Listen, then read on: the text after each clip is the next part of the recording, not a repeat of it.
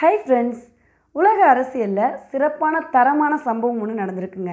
என்னன்னு பார்த்தீங்கன்னா இஸ்ரேலும் ஐக்கிய அரபு அமீரகமும் அமைதி ஒப்பந்தத்தில் கையெழுத்திட்டிருக்காங்க.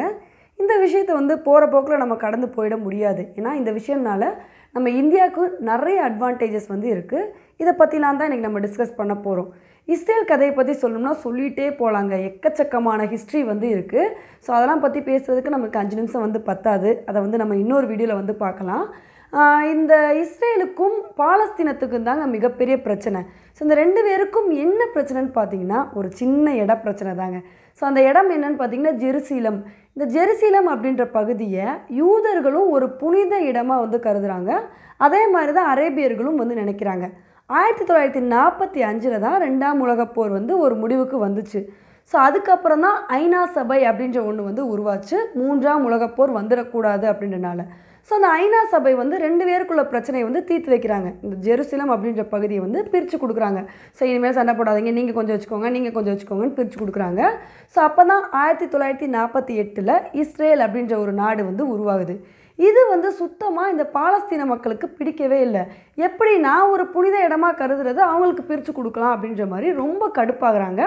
அது மட்டும் இல்லாமல் இதுக்கு ஒரு சில இஸ்லாமிய நாடுகளும் சப்போர்ட் பண்ணுறாங்க சிரியா லெபனான் இது போன்ற நாடுகள் வந்து சப்போர்ட் பண்ணுறாங்க ஸோ அதனால தான் ஆயிரத்தி தொள்ளாயிரத்தி நாற்பத்தி எட்டில் பாலஸ்தீனம் வந்து இஸ்ரேல் மேலே போர் தொடுத்து போகிறாங்க பாலஸ்தீனம் மட்டும் இல்லை எகிப்து லெபனான் ஜார்டான் நான் சொல்கிற எல்லா நாடுகளுமே வந்து போர் தொடுத்து போகிறாங்க ஸோ அப்போ என்ன ஆகுதுன்னு பார்த்தீங்கன்னா அந்த போரில் வந்து இஸ்ரேல் வின் பண்ணிடுறாங்க. ஆல்ரெடி வச்சுருந்த இடத்த விட இன்னும் அதிக இடத்த வந்து ஆக்கிரமிப்பு பண்ணிடுறாங்க. பாலஸ்தீனம் வந்து இன்னும் இடத்த வந்து அதிகப்படுத்தணும் அப்படின்னு போய் ஆல்ரெடி வச்சுருந்த இடத்தையும் இழந்துட்டாங்க. ஸோ அதுக்கப்புறம் ஆயிரத்தி தொள்ளாயிரத்தி அறுபத்தி ஏழுலையும் இதே மாதிரி ஒரு போர் வந்து வருது. அந்த போர்லேயும் வந்து இஸ்ரேல் தான் வின் பண்ணுறாங்க அந்த போரில் வின் பண்ணதுக்கு அப்புறம் இருந்தே இஸ்ரேல் வந்து ஓவராலாக இந்த பாலஸ்தீனத்தை கண்ட்ரோல் பண்ண ஆரம்பிச்சிட்டாங்க. முக்காவாசி பகுதிகளை அவங்க ஆக்கிரமிப்பு பண்ணிட்டாங்க.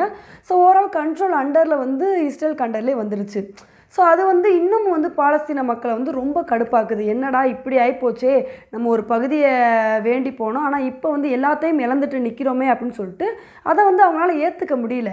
ஸோ அதனால் பாலஸ்தீனம் வந்து என்றைக்குமே இஸ்ரேலை ஒரு நாடாக வந்து ஏற்றுக்கிட்டதே கிடையாது. அதே மாதிரி தான் பாலஸ்தீனம் மாதிரி நிறைய இஸ்லாமிய நாடுகள் வந்து இருக்காங்க இல்லையா? ஸோ யூஏஆ இருக்கட்டும் ஈரானாக இருக்கட்டும் சவுதி அரேபியா இந்த நாடுகள் எல்லாருமே இஸ்ரேல் மேலே ஒரு கடுப்பில் தான் இருந்தாங்க. இஸ்ரேலை என்றைக்குமே ஒரு நாடாக மதிக்கவே மாட்டாங்க. ஸோ அந்த நாடுக்கும் இஸ் இஸ்லாமிய நாடுகளுக்கும் எந்த ஒரு ஃப்ளைட் போக்குவரத்தோ ஸோ எந்த விஷயமுமே இருக்காது. ஸோ அப்படி இருக்க பட்சத்தில் நைன்டீன் செவன்ட்டி நைனில் என்ன ஆச்சுன்னு பார்த்தீங்கன்னா எகிப்து வந்து இஸ்ரேல் கூட ஒரு அமைதி ஒப்பந்தத்தில் கையெழுத்திடுறாங்க. அதே மாதிரி ஆயிரத்தி தொள்ளாயிரத்தி தொண்ணூற்றி நாலில் ஜோர்டான் அப்படின்ற நாடும் வந்து இஸ்ரேல் கூட அமைதி ஒப்பந்தத்தில் கையெழுத்திடுறாங்க. இந்த ரெண்டு நாடுகளுமே இஸ்ரேல் மேலே போர் தொடுத்து போன நாடுகள் அப்படின்றது ரொம்ப குறிப்பிடத்தக்கது. ஸோ இப்போ இதை தொடர்ந்து ஐக்கிய அரபு அமீரகமும் இஸ்ரேல் கிட்ட நம்ம இனிமேல் வந்து அமைதியான முறையில் நம்ம ரிலேஷன்ஷிப்பை வச்சுக்கலாம் அப்படின்னு சொல்லிட்டு அமைதி ஒப்பந்தத்தில் கையெழுத்திட்ருக்காங்க இது வந்து நம்ம இந்தியாவுக்கு ரொம்ப ரொம்ப முக்கியம். ஏன் இப்படி சொல்கிறேன்னு பார்த்தீங்கன்னா நம்ம இந்தியாவும் இஸ்ரேலும் ஓரளவு வந்து என்னதான் ரிலேஷன்ஷிப் பில்ட் பண்ணாலும் ரொம்ப க்ளோஸாக போனதே இல்லை.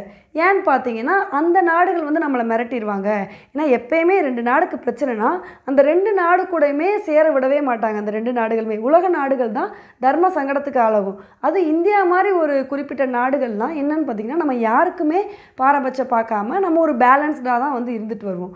ஸோ அப்படி இருக்க பத்து பட்சத்தில் இப்போ யூஏஇ வந்து இந்த ஒரு அமைதி ஒப்பந்தம் போட்டிருக்கனால நமக்கு ஓரளவு ரிலாக்ஸ் ஆயிடுச்சு. நம்ம இஸ்ரேல் கூட இன்னும் ரொம்ப க்ளோஸாக போகலாம். ஒரு நல்ல ரிலேஷன்ஷிப் வந்து மெயின்டைன் பண்ணலாம். அதே சமயத்தில் மற்ற நாடுகள் கூடயும் எந்த ஒரு பயமுமே இல்லாமல் நல்ல ரிலேஷன்ஷிப் வந்து மெயின்டைன் பண்ணலாம்.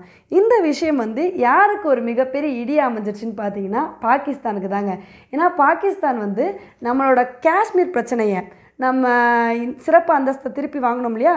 ஸோ இந்த பிரச்சனையை வந்து உலக நாடுகள் மத்தியில் வந்து மிகப்பெரிய பிரச்சாரத்தை கிரியேட் பண்ணணும். முக்கியமாக இஸ்லாமிய நாடுகளோட ஒத்துழைப்பை வந்து ரொம்ப இந்த பிரச்சனைக்கு வந்து கேட்டுகிட்டே இருந்தாங்க. ஸோ அதனால தான் ஆர்கனைசேஷன் ஆஃப் இஸ்லாமிக் கோஆப்ரேஷன்கிட்ட போய் ஒரு மீட்டிங்லாம் நடத்த சொன்னாங்க. ஆனால் அப்போயே பார்த்தீங்கன்னா அதோட தலைமை நாடான சவுதி அரேபியா வந்து பாகிஸ்தானை அசிங்கப்படுத்தி அனுப்பிட்டாங்க. அது மட்டும் இல்லாமல் நாங்கள் வந்து கச்சா எண்ணெய் இனிமேல் பாகிஸ்தானுக்கு தடை போகிறதில்ல தடை விதிக்க போகிறோம் அப்படின்னு சொல்லிட்டாங்க. அந்த அந்த விஷயத்துலேருந்தே பாகிஸ்தான் மீண்டு வர முடியாமல் ரொம்ப அரண்டு போயிருக்கு. ஐயோ என்னடா நம்ம இந்த நாடுகிட்டேருந்து ஆதரவு எதிர்பார்த்துக்கிட்டு இருந்தோம். ஆனால் இப்படி ஆயிடுச்சு அப்படின்னு சொல்லிட்டு ரொம்ப அரண்டு போயிருக்கு.